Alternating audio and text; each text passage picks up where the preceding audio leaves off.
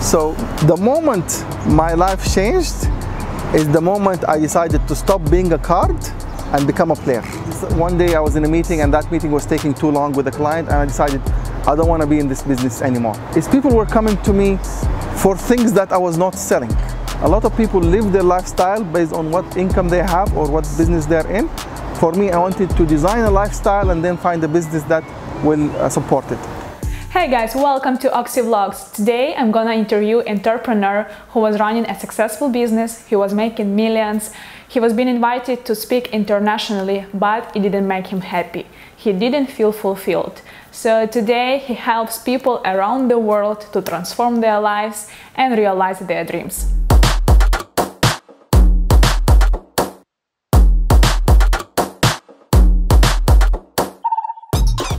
What did you do before you came to Dubai and why did you decide to come here? Uh, so I come from a technology background. Uh, personally, I'm a systems analyst and a systems engineer. Uh, I worked for multinational companies and uh, in different countries around the world. After that, I opened my own uh, technology company based out of Jeddah and was serving uh, mainly Saudi as well as the Gulf area. And this IT business is very hectic. There's a lot of project meetings, business trips, contracts, tendering. And I just, this, one day I was in a meeting and that meeting was taking too long with the client and I decided I don't want to be in this business anymore. So I later informed my partners and actually stepped down from that company. And to be honest, I was planning my early retirement and I looked at three different uh, places and Dubai was one of the finalists. And I did actually go and visit those places to see which, be, which would be an easy place to land and set up uh, a, a, small business out of. And, and Dubai actually won, of course. What did happen next? I didn't want to get more involved anymore into meetings, into bidding processes, uh, business travel, extended conferences. I had enough. Like I think after 15 years or so in that business, I had enough. So I wanted to move to a business that is um, uh, more fulfilling, that it will support my lifestyle and not the other way around. A lot of people live their lifestyle based on what income they have or what business they're in. For me, I wanted to design a lifestyle and then find a business that will uh, support it. So I designed my lifestyle that, okay, I would like to have dinner with my family at least five times a week. Uh, I would like uh, to work uh, between uh, maximum, maximum eight hours a day. I would like to enjoy lunch at least two, twice uh, a week. So I, I, set up that kind of lifestyle and then I said, and I took some time off to think. Um, and one of the things that kept popping up while I was designing my next tech company is people were coming to me for things that I was not selling. Uh, they were coming to me for things to, to do with career, uh, things to do with starting up a business, uh, things to do with relationships. Uh, and I would help them. And then what I noticed, and I think this was the point, when, I'm, when I moved to Dubai, people will actually take a ticket, will book a hotel for two nights to come and see me. I said, wait a minute, if people are paying tickets and hotels to come and see me, then I must have something that is very valuable to them. So I said, let me start by charging them to come and see me. And people did pay. And I was booked two months down the road. So then I realized, and I, showed, I was trying to figure out what do people come to me for? And they come to me for clarity and action. So I said, okay, clarity in what? So it's clarity in their life. And then action in what? Action in one of four areas. Either career, relationship, money, or business. So I said, okay, what if I can structure what they're asking for and make it available to more people? So I stopped taking on appointments and I went back to all my notes and all my recordings to see what questions were people asking and what kind of answer I was giving. And I noticed I was giving almost the exact same answer every time. And that answer was working. So I said, fine, how can I structure that answer in a way where people can just do it by themselves? And after a few iterations, one of the things that came up was visuals. What if I use visuals? Because symbols and visuals are an international language. People will understand visuals from the time they're four years old. Okay, uh, people will understand the visual if they're traveling without even knowing how to read the sign. So I use visuals to help people discover what they want in life, what's holding them back, what steps they would like to take or they need to take to move forward, as well how they can create an environment around them to enable them to achieve their goals. And I packaged all that into different products. Our flagship product is called Visoul. Visoul is short for Visualizing the Invisible Soul.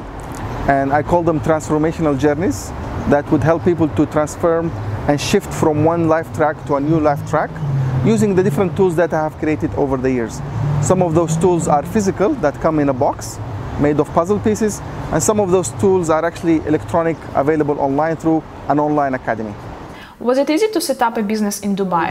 Setting up the business in Dubai was quite straightforward and uh, easy. Uh, first I went through like the different uh, legal firms to understand the different structures and I did actually go and visit the different free zones and the different economic departments to understand what kind of license they have. Now surprisingly, and I was overwhelmed, at that time, and I'm sure now there's more, there was 80 different types of licenses that you can actually uh, operate. And they cost anywhere from, let's say, 7,000, 10,000, all the way to half a million. Uh, so that was quite overwhelming until one day I decided to go and visit uh, uh, Dubai SME. Dubai SME is uh, part of uh, Sheikh Mohammed bin Rashid uh, Foundation for Small and, Medium-Sized Businesses. And I presented my case. I said, look, this is the kind of business I would like to do. So what kind of business, license uh, do you recommend? Now, they mostly serve locals. However, being a GCC national, they actually extended to me the same benefits uh, that they will give to locals. So I was able to get something called an out-of-home um, business license that they, they, it's, it's offered.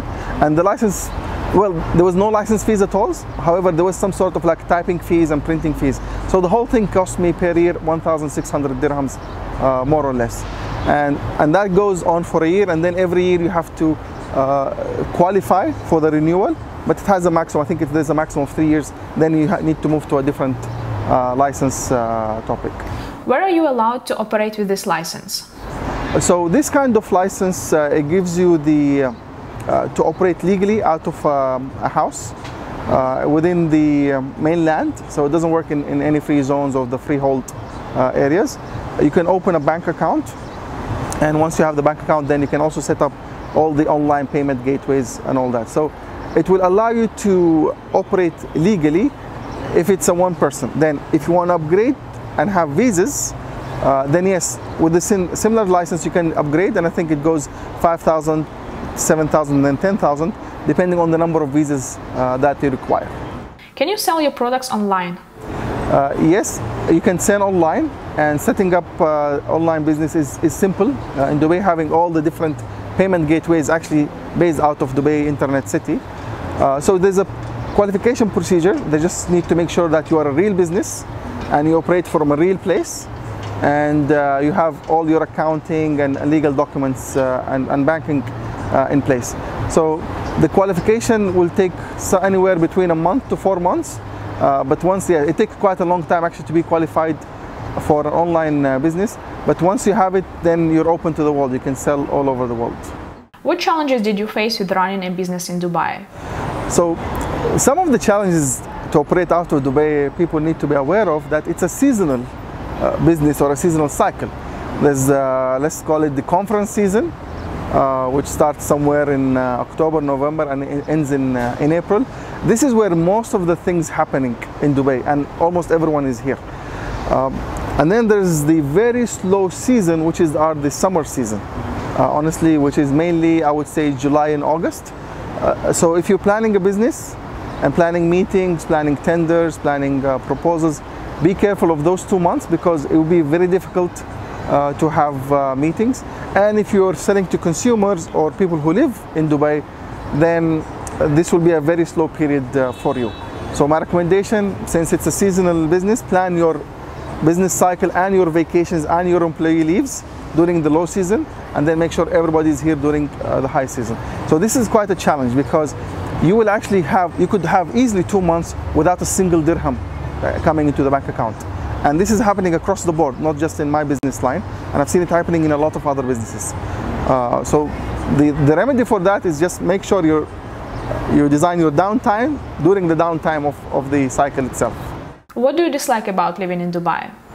It's the different fees that are coming around and popping almost every month. Uh, and I think those fees, yes, they're small, 20 dirhams here, 60 dirhams there, 1,000 dirhams here.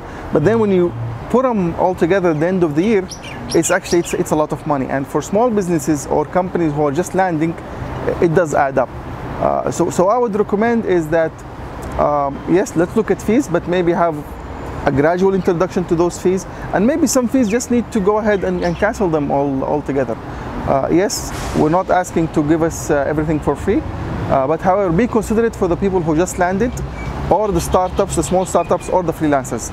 They are different than big corporations who can afford those fees, and for them it's nothing. If you had to start over again, what would you do differently? So the way I would do it differently is to um, look for a co-founder, if you want to call her a partner, early on, um, because having finding uh, investors or finding um, financing is, is relatively easy in the way, and finding talent is, is very easy actually. It's one of the reasons why I'm growing businesses here. However, finding a co-founder or a partner is, is quite difficult. Uh, and I think the reason for that is because people are here for a certain vision that they have for themselves, and it could be difficult for them to, to join somebody else's vision. What does your daily life look like? I was asked um, just the last weekend by one of my clients, Are you living your perfect day? And I actually smiled and I said, Yes. And that, uh, for the last two days, I've been thinking about the answer that I answered. Was I true with myself? Was I true to him? or was I just sugarcoating things? And the answer is yes. I'm actually living a day that I've designed to myself long time ago. So I woke up very early in the morning, 5, 5.30, most of the time without an alarm, and then wake up the kids around uh, 6 o'clock and get them ready uh, for, for school, and then the school bus will come and pick them up around 6.30.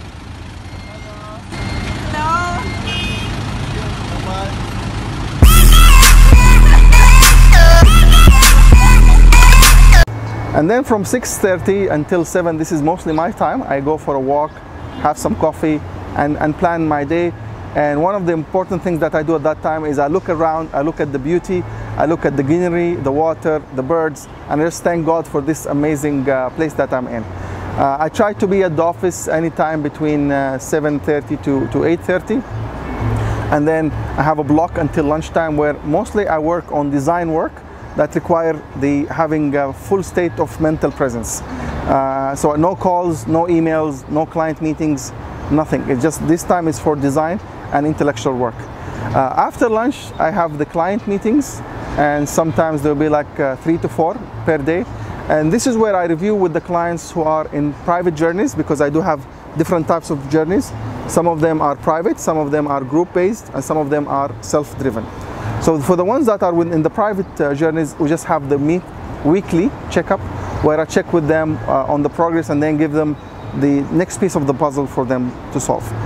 I try to be home anytime between 5 uh, to 6, uh, sit with the kids and see what's going on and uh, later on when also my wife comes from work, we all sit for uh, dinner. Our dinner is fixed, it's at 7 every day and whoever is late, they miss it. Uh, and after dinner, just see like if there's anything to do with schools or homeworks or uh, uh, any plans that we need to plan for the weekend.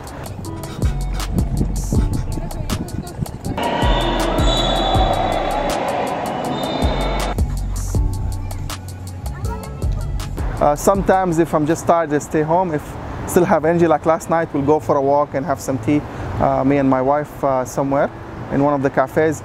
And what I do before sleep, and I think this is quite interesting. And it did shape a lot of things that where I am today. Is I read or watch or listen for an hour for that's something scientific. And I'm talking here about biology, physics, astrophysics, uh, all these things that I don't understand what they are because I'm not an engineer, I'm not a scientist, but believe it or not, a lot of things that I do today in business somehow were inspired by reading or watching or listening to something scientific until I fall asleep. People often work long hours in Dubai. How to create a balanced lifestyle? I see a lot of people in Dubai that are stressed out and even burnt out uh, sometimes.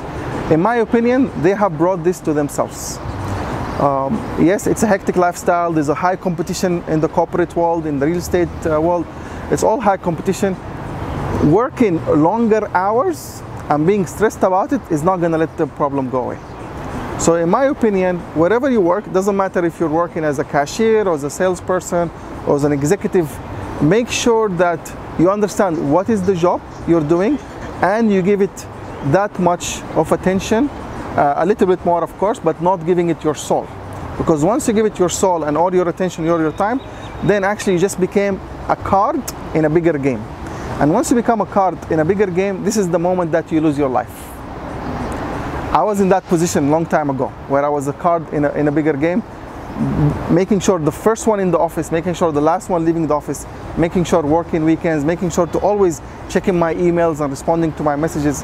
But for what, honestly?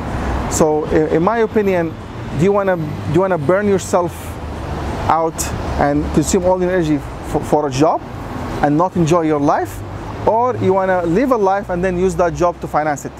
It's, it's not the same thing, it's completely two different things. I know people who moved to Dubai and until now their furniture is unpacked, okay?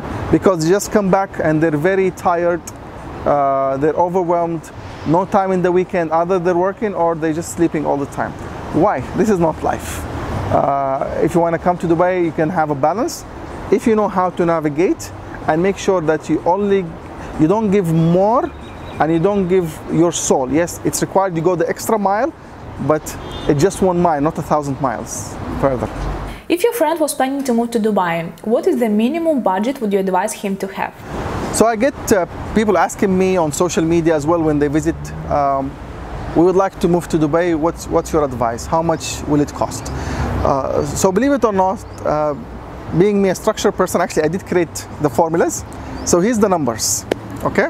Here's the numbers. So if you're coming on your own okay so there's like uh, no family involved no kids no spouse involved you would need a minimum of 8000 dirhams per month to be able to to maintain a very good decent life. Okay? Of course you'll have to economize and uh, be be on a budget but 8000 believe it or not is enough and you could live in a nice place. Okay?